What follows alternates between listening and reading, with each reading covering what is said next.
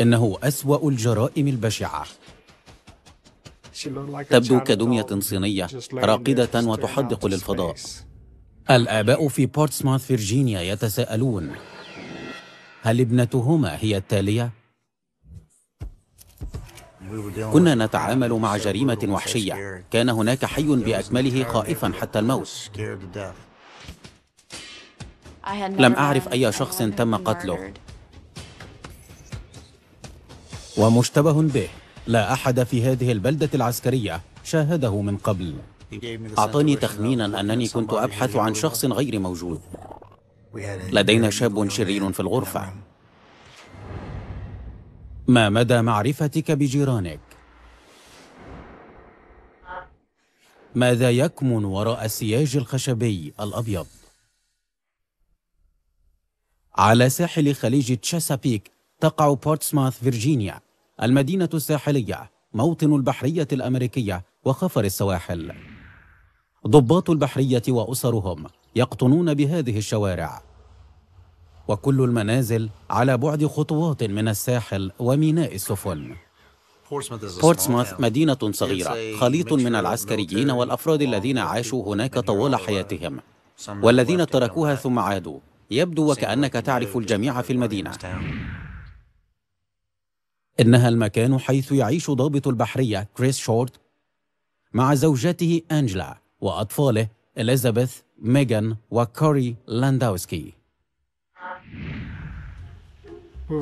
كنا متمركزين في غوانتانامو بكوبا لمدة عام. بعدها نقلت إلى مستشفى بورتسموث البحرية. بالعودة للحياة على الأرض الأمريكية.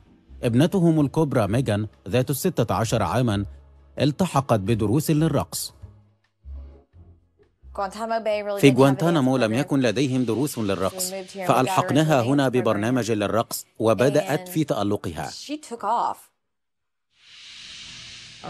يعتقد الآباء دائما أن ابنتهما هي أفضل راقصة في العالم. لكن رقص ميغان كان حقا يخطف الأبصار.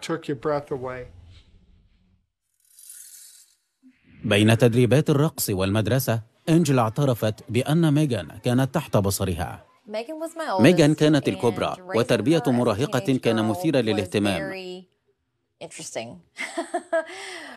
كانت تهتم بالصبيان وكانت تهتم بالشعر الملابس وأهم شيء طلاء الأظافر.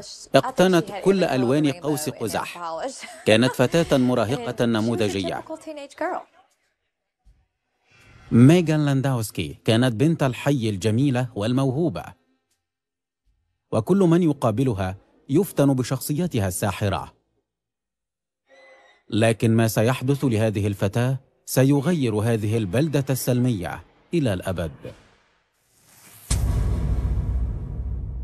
الخميس العاشر من إبريل عام 2008 بدأ كأي يوم ربيعي مشمس في بورتسموث.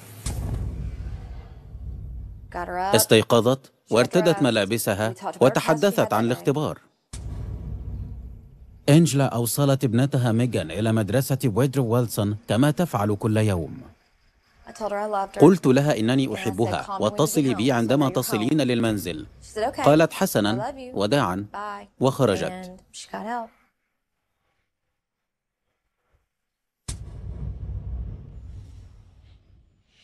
في حوالي الرابعة بعد الظهر زوج والدة ميغان كريس رجع للمنزل. عندما وصلت لاحظت أن الباب مفتوح. نبهنا ميغان عدة مرات ألا تترك الباب مفتوحا لا أحد هناك. عندما كنت أناديها لم تجب. ثم نظرت ورأيت ميغان ممددة على الأرض. كانت كدمية صينية راقدة وتحدق للفضاء. ميغان ذات الستة عشر عاما قتلت.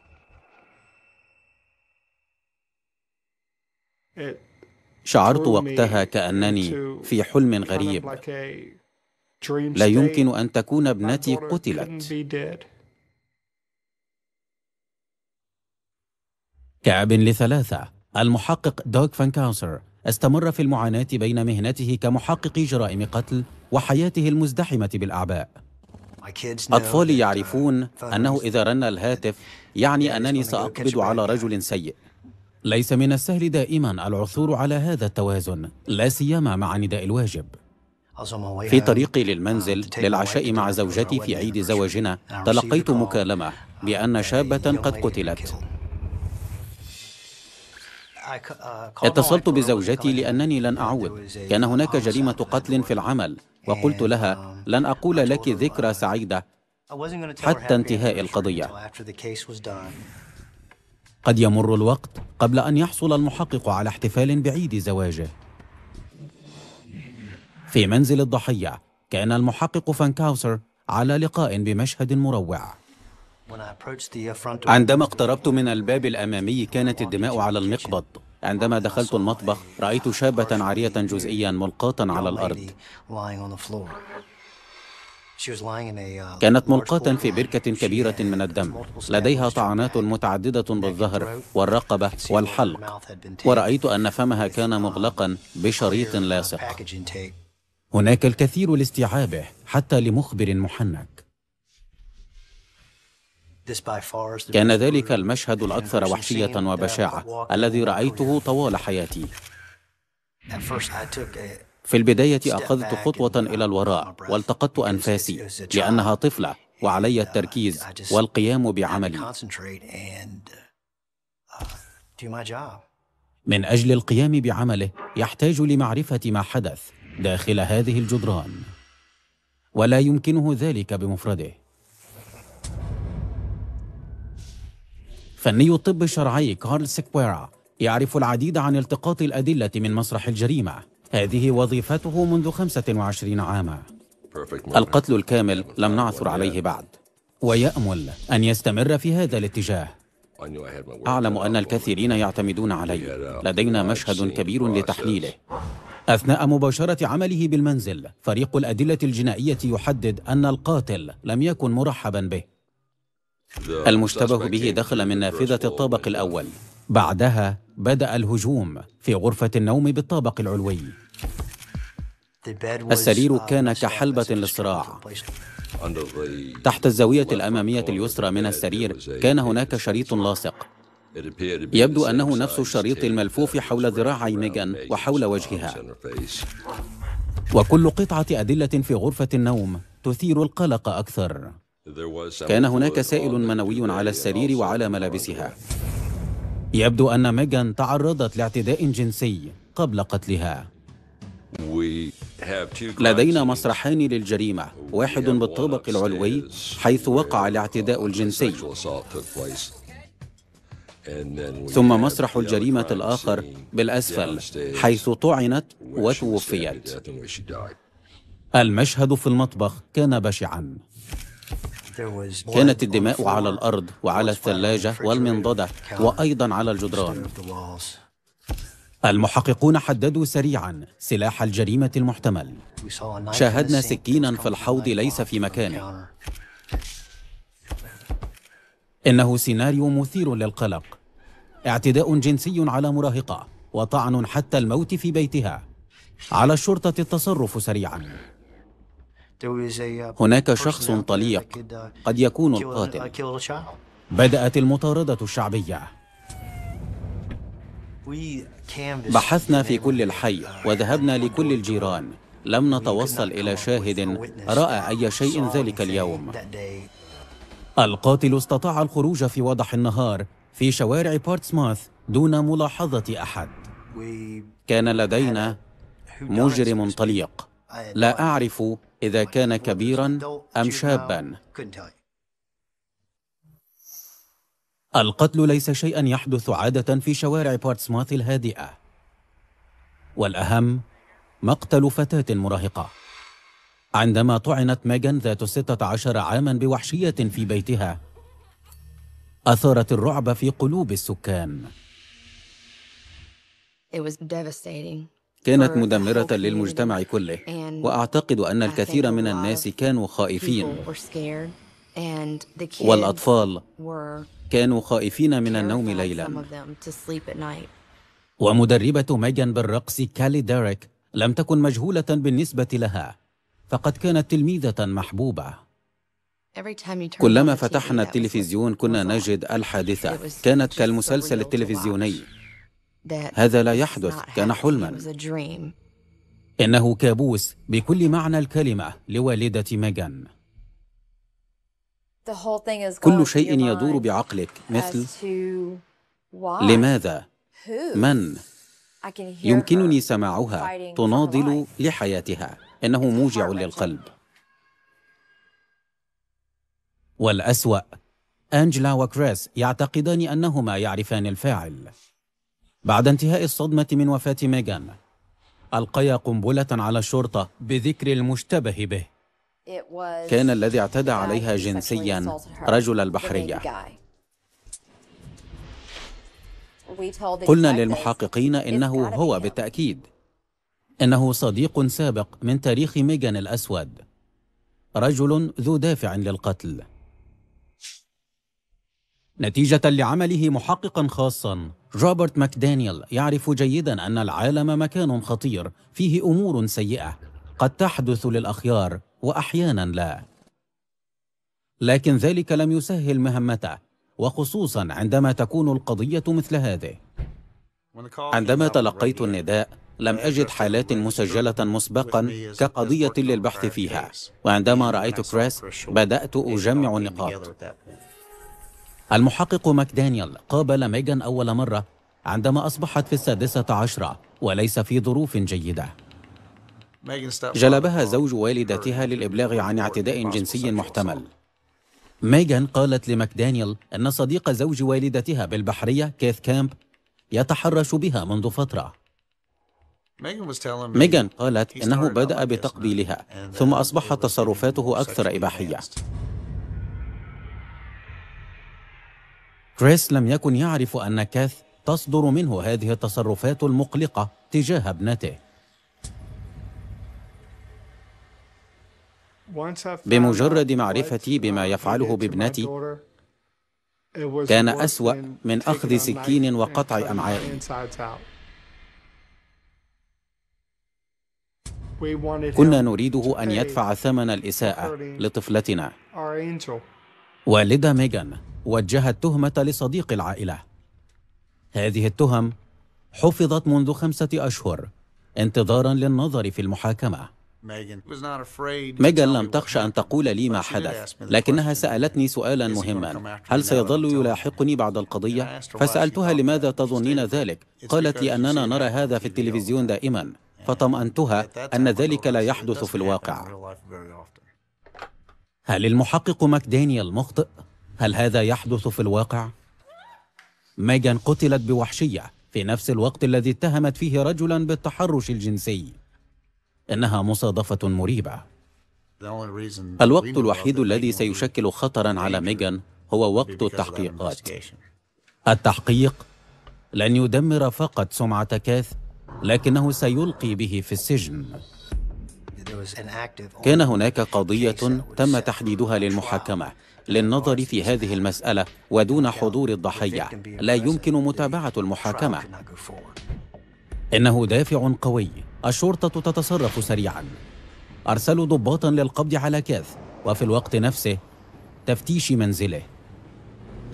أثناء البحث لم نجد أي ملابس بها دماء أو أي شيء يربط بينه وبين جريمة قتل ميغان. هذا حتى فتش المحققون الكمبيوتر الخاص به. أردنا معرفة إذا كان هناك اتصال مع ميغان. لا توجد رسائل إلكترونية لكنهم لاحظوا بعض الملفات الممسوحة مؤخرا لكن لم تمح تماما. وجدنا مواد إباحية. لم يكن دليلا قاطعا لكنه أثار بالتأكيد إنذارا مهما. من لديهم مواد إباحية أحيانا يتطورون من مجرد المشاهدة إلى الخطوة التالية اللمس ثم يبوحون بنزواتهم. كانت الأدلة تشير إلى أنه الفاعل. كانت الأدلة ضده. كانت الأدلة تؤكد احتمال تورطه لكنهم بحاجة للمزيد.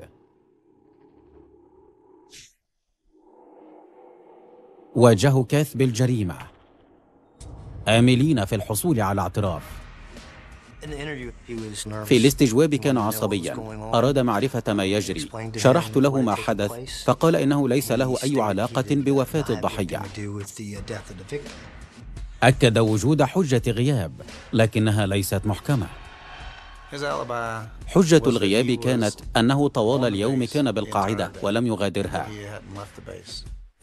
من الممكن أن يكون غادر العمل وقتل الضحية ثم عاد مجددا. الآن على الشرطة إثبات ذلك.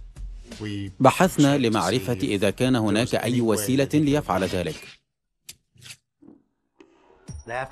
بعد بحث المقابلات مع من يعمل معهم والإطار الزمني لوجوده هناك والوقت الذي سيستغرقه لترك العمل والمجيء إلى المدينة ثم العودة. إذا لا يمكن حدوث الجريمة. هل من الممكن أنه ليس القاتل؟ والدا ميغان لا يعتقدان ذلك.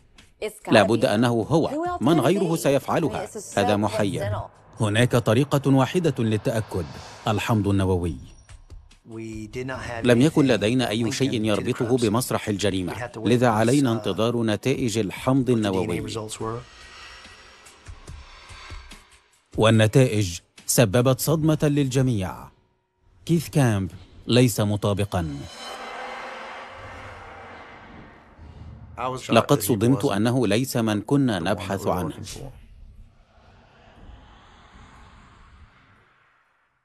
كان الخبر صادما لوالد ميغان. قاتل ابنته ما زال طليقا. والآن لا يمكن إثبات شهادة ميغان ضد كاث المتعلقة بالتحرش الجنسي. لقد كان سيحاكم بتهمة التحرش. لقد كذبت على ابنتي. قلت لها إنه سيعاقب. والآن لن يعاقب. إذا لم يكن كاث كامب كان على الشرطة البحث عن مشتبه به آخر منطقي. إنه كريس زوج والدتها. تصرفات كريس كانت تتماشى مع الحزن. لكن دائما يلقي باللوم على صديقه ربما ليصرف انتباه المحققين. إنه من وجد ميغان واتصل لطلب المساعدة وقال إنه والدها ليتأكد أنه ليس مشتبها به. أخذ المحققون عينة من الحمض النووي. كريس شورت غير متطابق. تم بعدها استبعاد أفراد الأسرة الآخرين. استطعنا استبعاد والدة ميغان ووالدها وشقيقها كمشتبه بهم. مع استبعاد جميع المشتبه بهم السؤال الآن يصبح لماذا؟ لماذا قتلت ميغان بهذا العنف؟ هل هي تعرف القاتل أم كان هجوما عشوائيا؟ أظهر التشريح أنها طعنت بالوجه عدة مرات والعين والصدر وطعنت بجانبي عنقها كان الهجوم مباشرا وواضح الأهداف ليس هناك شك وأنت تمسك بهذا السكين أنك تحاول أن تؤذي أحدا بل تحاول قتله. كانت حالة مع سبق الإصرار والترصد. حدثت بعض الطعنات في الظهر بعد الوفاة. اثنتا عشرة طعنة حدثت بعد الوفاة. الطعنات بعد الوفاة تشير إلى أن من فعل ذلك كان غاضبا كأنه يقول هذا ما تستحقينه ويضع علامة كأنه يقول لا يمكنك القيام بشيء. هذا القدر من الغضب يشير أن ميغان كانت تعرف القاتل. معرفة من كان غاضبا من ميغان سيساعد في البحث عن قاتلها. سئل والداها إذا كان هناك شخص غاضب منها لكن والداها لم يتوصلا لأي شخص. لقد أحبت الجميع وأرادت أن يصبح الجميع أصدقائها إذا كان الشخص غاضبا من ابنتهما فقد حافظ على إخفاء غضبه. مر أسبوعان بدون مشتبه بهم جدد. خشي والد ميغان ألا ينال القاتل عقابه. قلت لهم لا تدعوا القضية تتجمد. لا تدعوها. لطمأنتهم وعدهم المحقق فانكاوسر بوعد لم يقطعه قبلا. قلت لعائلة الضحية إنه لا مجال لترك القضية معلقة. لن أترك القضية تتجمد. الآن الوفاء بهذا الوعد لن يكون سهلاً. كنا نبحث عن شخص قريب لديه وسيلة للهرب سريعا وبسهولة وكذلك الانخراط في المنطقة التي بها ميغان. لذلك كان كل الذكور في تلك المنطقة مشتبها بهم. داخل جدران مدرسة بودرو ويلسون في بورتسماث هناك المجموعات الموجودة في أي مدرسة. لاعبو الاسطوانات المهووسون المتميزون وبالطبع الملكات. إنها شبكة اجتماعية معقدة ليحصل محققون في منتصف العمر على المعلومات. تفيد في جريمة قتل ميغان ذات الستة عشر عاما. نعرف أن ميغان لها حياة خارج عائلتها. كل الطلاب بالمدرسة لديهم حياة. معظم الآباء لا يعرفون عنها شيئا. هذا ما يفسر لماذا لم يتمكن والد ميغان من التوصل للشخص الغاضب. الأمر متروك للشرطة لكشف الحياة السرية لميغان سنعرف ما تحب القيام به. مع من تتسكع. صديقها الحالي والسابقين. كنا نبحث في احتمال أن صبيا بالمدرسة. كان مفتونا بها.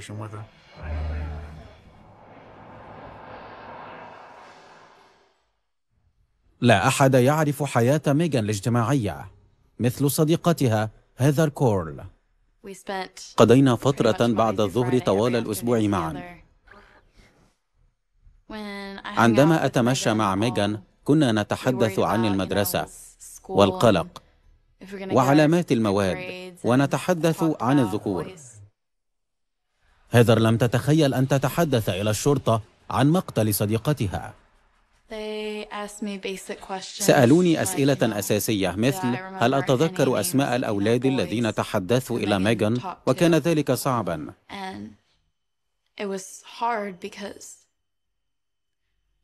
تتمنى العودة إلى الماضي وتتذكر كل التفاصيل الصغيرة. تتذكر كل شيء. لكني لا أتذكر. هاذر لم تزود الشرطة بمعلومات عن أي مشتبه به محتمل. لذلك توجه المحققون للمدرسة للتحدث مع أصدقاء ميغان الآخرين. بدأنا إجراء مقابلات مع زملائها لأننا شعرنا أنه كان شخصا يعرف ميغان. كل ذكر في جسم طالب هو مشتبه به محتمل. علمنا أن ميغان لديها صديق أو بالأحرى أصدقاء ووجدنا لاحقا أن أولئك الأصدقاء كانت معجبة بهم جميعا.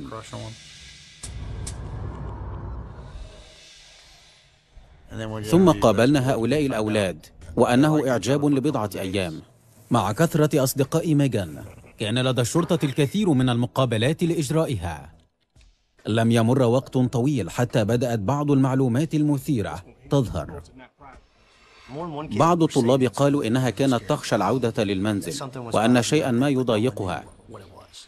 ممن كانت ميغان تخشى بالرغم من المقابلات العديدة لم يستطع أحد تحديد هذا الشخص الغامض. وهل هي إشاعة؟ أم حقيقة؟ التحدث إلى شاب كمحاولة قراءة كتاب مبهم. المحققون حاولوا فك الشفرة عن طريق تتبع خطوات ميغان ذلك اليوم الذي كانت خائفة فيه. تركت رسالة على هاتف والدتها تقول الأمور بخير لم تتصل لطلب المساعدة لأنها خائفة. من الصعب تصديق أن ميغان كانت تخشى على حياتها. في النهاية المباحث وجدت أن ما قيل كان مجرد إشاعة. وأخيرا أحد أصدقائها قال إنها لم تخشى العودة للمنزل وأنها لم تفضل العودة لأنها تحب الوجود مع الأصدقاء. طالب قال شيئا وكذبه طالب آخر. هكذا تنتشر الشائعات. لا أحد من فتيان مدرسة ميغان يعتبر مشتبها به.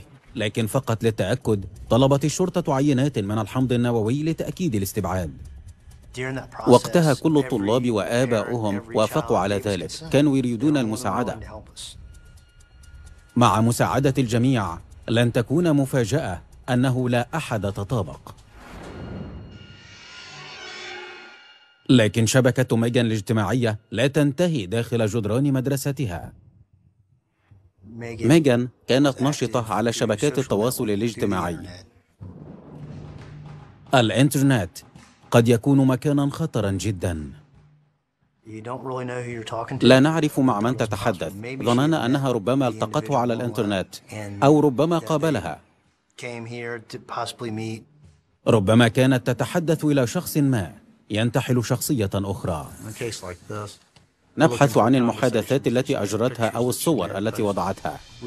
كنا نأمل بوجود اتصالات أو أي شيء يشير للاتجاه الصحيح. لكن لا شيء أثار الريبة. بحثنا عن أي شخص على الشبكات الاجتماعية تعامل مع اسمها. لم نجد أي شيء. قد يوضح لنا من قتل ميغان. إنها نهاية أخرى محبطة. طوال شهر. عمل المحققون على مدار الساعة. لم نعرف حقا إذا كنا نبحث عن رجل أبيض أم أسود أم آسيوي. لكن ماذا لو كان هناك طريقة لتضييق الخناق على المشتبه به؟ يبدو أنها موجودة.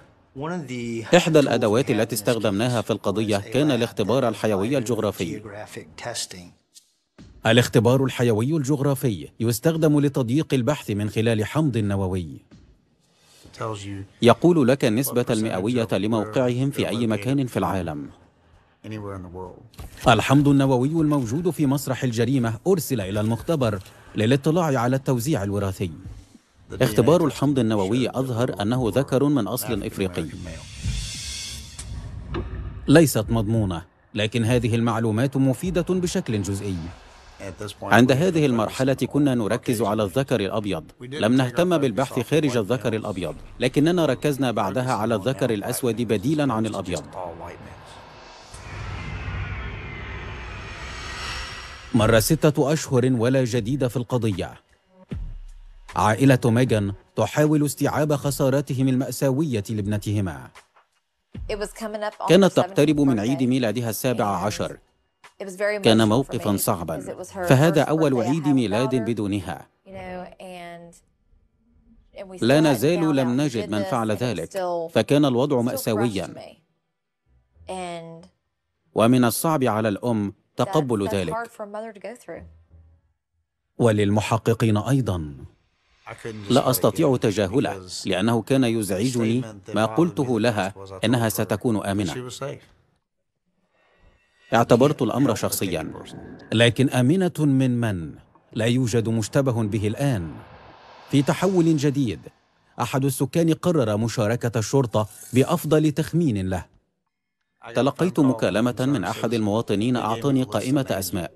أسماء الصبية الذين تسكعت معهم ميغان. تم استجواب من بالقائمة باستثناء واحد. هل هذا الشخص هو الذي قتل؟ ميغان لانداوسكي؟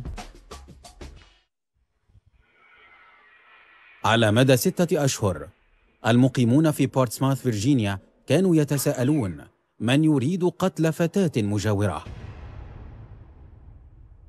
القضية لاحقت المحقق فانكاوسر بكل مكان.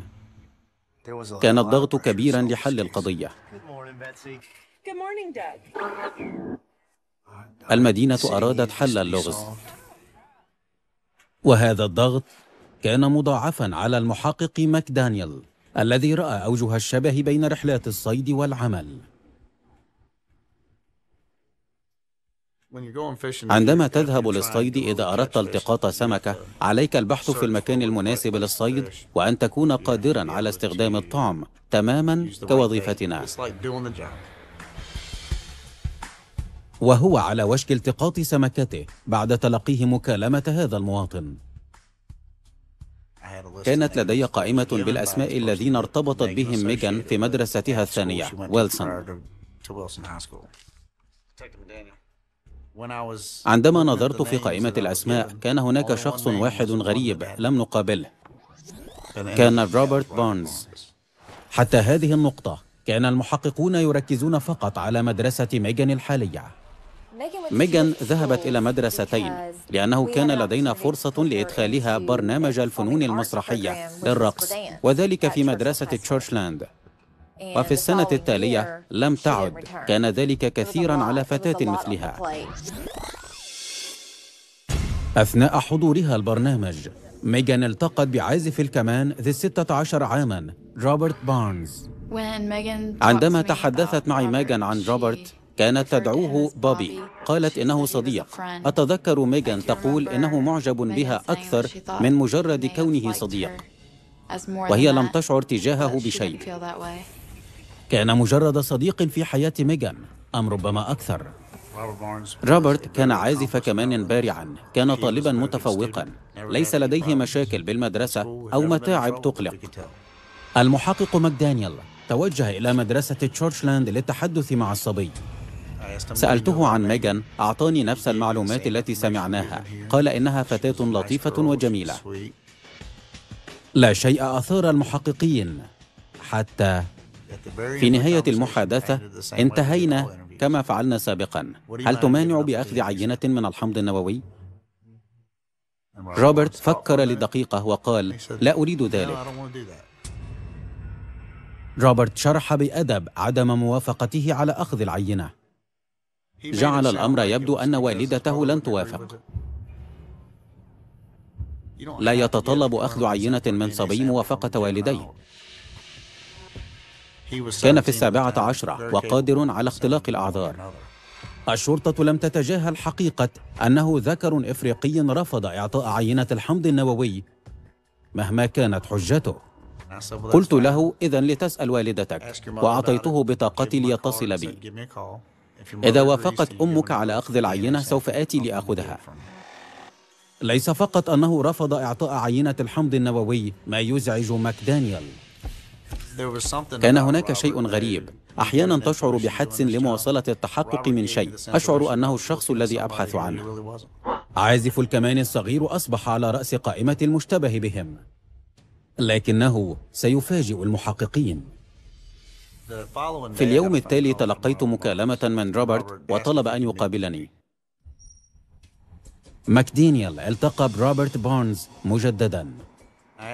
سألته هل وافقت والدتك على إعطاء العينة؟ قال لا لكن يمكنك أخذ علكتي وكان يمضغ علكة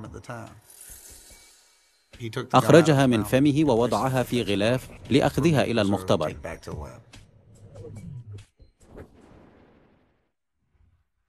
بالرغم من أن روبرت أبدى تعاونا إلا أنهم يشعرون أنه يخفي شيئا. هل هي جريمة قتل؟ ما زلت أشعر بوجود سر حول روبرت. تحدثت إلى المحقق فانكاوسر وأن لدي شعورا أنه مشتبه به. لكن ليس لدي وسيلة لإثبات ذلك. وحدس المحقق ماكدانيال قد يكون صحيحا. تلقيت مكالمة يسألون كيف حصلت على العينة. شرحت لهم أنه مضغ العلكة ووضعها في غلاف سألوني أنت متأكد أنك راقبته طوال الوقت؟ ماكدانيال يسأل لماذا؟ قالوا لأن العلكة تخص أنثى. تأكد أنه يخبئ سرا مريبا. لأن الحمض النووي من العلكة لا يخص روبرت بارنز. هل خدع المحققون على يد مراهق؟ لم أعرف فيما أفكر. إما أنه يتلاعب بنا وهو أمر ليس ممتعا أو أننا أمسكنا بالخيط لكننا لا نعرفه بعد. هناك شيء عن المراهقين. إنهم ليسوا راشدين. وليسوا أطفالا أيضا. طوال الأشهر الستة الماضية من البحث تعلم المحققون التوقع ما هو غير متوقع. لذا لم يكن غريبا الاعتقاد أن تبديل الحمض النووي لروبرت كان مجرد مزحة وليس له علاقة بقتل ميغان. أول ما خطر ببالي أنه يلعب مع الشرطة كل من قابلناهم في المدرسة قالوا أن روبرت يحب المزاح. لكن شرطة بورتسماث لا تمزح. ما قاله إنه يحمل غلافا في جيبه لوضع العلكة وأخرج يديه من جيبه ووضعها على فمه وبصق العلكة في الغلاف وأغلقه ومد لي يده. فالتفت لفتح القفاز لوضع العينة بداخله. كان معه علكة أخرى في يده ووضعها بالقفاز. أحضروا روبرت إلى القسم بخطة. ماكدانيال سيواجهه بنتائج الحمض النووي وفانكاوسر سيدون الملاحظات. واجهته بأن نتائج العينة تشير أنها لأنثى وليست له. عند هذه النقطة لم نكن متأكدين أنه مشتبه به. لكن هذا على وشك أن يتغير. أدلى بشهادته وقال هذا ما حدث الخميس. لا أحد ممن قابلناهم حتى وقتها عرف في أي يوم. شعرت بقشعريرة في معدتي لأنني علمت أن من قتل ميغان معي وكان صبيا مراهقا. وما سيقوله هذا الصبي لا يصدق. صادم بشكل كبير. قال إنها طلبت منه أن يأتي قرب المنزل. لكن داخل المنزل أخذت رواية روبرت منعطفا آخر. ادعى أن ميغان لم تكن بمفردها وكان يهددها رجل ملثم بسلاح. عندما رأيت ذلك أول مرة لم أعتقد أنه حقيقي. أعتقدت أنها خدعة. وفقا لروبرت هذا الملثم صوب المسدس تجاهه. قال لي أن أقيدها كانت تقول لا تفعل ذلك.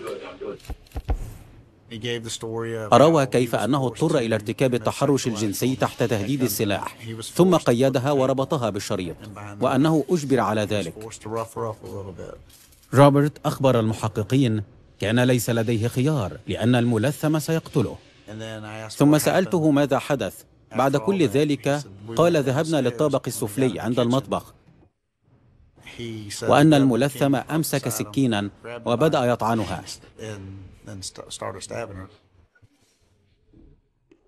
والرجل كان في هذا الاتجاه وهي كانت تحاول المقاومة والإفلات منه. ثم قال إنه بعد طعن المسلح لميغان أمسك يده وقطع أصبعه وبهذه الطريقة ترك عينة الحمض النووي. لقد أمسك بي بأصبعي للأمام هكذا. كانت هذه روايته. على الأرجح الشهادة الأكثر جنونا لأنه لا وجود لملثم. كان يضع الأفعال التي ارتكبها على شخص وهمي. كان يحاول أن يجعل نفسه ضحية. طوال الوقت كان يحاول شرح ربطه بأي دليل عثروا عليه. حمضك النووي وجد بالجريمة. لكن الأدلة تشير بوضوح أنه لم يكن هناك سوى شخص واحد. أراد الرد على كل الأسئلة التي لدينا ولم يكن يعرف في ذهنه أننا نعرف أن لدينا القاتل. لماذا لم يقتلك؟ لديه تفاصيل كثيرة. كان يعرف ما حدث. لدينا شاب شرير جدا في الغرفة. ميغان لم ترى هذا الجزء الشرير في روبرت بارنز إلا بعد فوات الأوان. روبرت ذو السبعة عشر عاما تم القبض عليه بتهمة قتل ميغان. بعد القبض عليه المحقق فانكاوسر أرسل لزوجته رسالة نصية. أرسلت لزوجتي ذكرى سعيدة فعرفت أننا حللنا القضية. عندما علم والد ميغان بالاعتقال كانا مصدومين. اتصل بنا المحقق فانكاوسر وقال أريدك أن تجلسي. فخفق قلبي. قلت بالتأكيد أنت تمزح. هل قبضتم علي؟ عرفت فورا من كان. أنجلا وكريس ليس لديهما فكرة أن الشاب الهادئ الذي يركب الحافلة مع ابنتهما يرتكب جريمة بهذا العنف. كان روبرت بارنز طالبا مهذبا. كان يأتي صباحا ويقول صباح الخير. كان محترما جدا. وذا دم بارد. أعتقد أن البلدة صدمت أنه هذا الطفل توقعنا جميعا أن يكون راشدا. كانت هذه جريمة نكراء فتوقعنا أنه كان شخصا راشدا. لا مجال أن نبنى شخص يفعل هذا. لكنه فعل وهذا ما يعتقد المحققون أنه حدث يوم الجريمة. دخل روبرت بارنز من خلال النافذة. اقترب من ميغان التي بالتأكيد تفاجأت وأخذها للطابق العلوي. ثم قيدها واعتدى عليها جنسيا. كانت تقاوم وهربت للطابق السفلي وهو جرى خلفها أمسك بها. وكان السكين بجانبه. بدأ يطعنها. وبعد أن ماتت طعنها عدة مرات.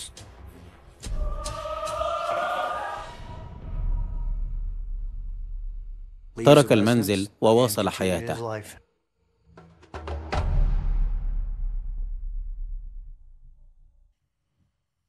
بعد اعتقاله روبرت بارنز تغيرت نبرته. في سبتمبر عام 2009 حكم عليه أنه مذنب في جريمة قتل من الدرجة الأولى بالإضافة للاعتداء الجنسي. حكم عليه ب 42 عاما. أشعر بالراحة الآن أنه نال عقابه وأنه لن يفعل ذلك لأي شخص آخر. لكن لا يزال هناك سؤال ملح. لم يقل لنا لماذا قتل ميغان لكن المحققون لديهم نظرية. أعتقد أن روبرت كان يحب ميغان وأنها رفضته وهذا أثار غضبه. لم يستطع التوقف. فظهر الجانب المظلم من روبرت بونز والواقع أنه الجانب الحقيقي.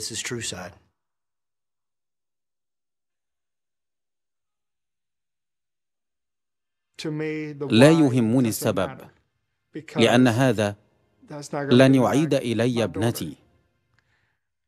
حاول الاعتداء عليها وهي قاومته ابنتي فقدت حياتها وهي تحمي نفسها. حدث ذلك بطريقة غريبة. كانت غريبة. وهذا يريحني. المراهقون في بورتسماث عادوا للحديث عن العلامات والأصدقاء ومن يحبون لكن الأمور لم تعد تماما كما كانت. ما زلت أشعر بالخوف أحيانا في البيت بمفردي. لم أعرف أي شخص قتل. كنت أراه في الأخبار فقط. يبدو أنه شيء لن يحدث لك. لكنه حدث. وقاتل ميغان هو تذكير دائم لطلاب بورتسماث أنهم لا يعرفون حقا من هم أصدقاؤهم.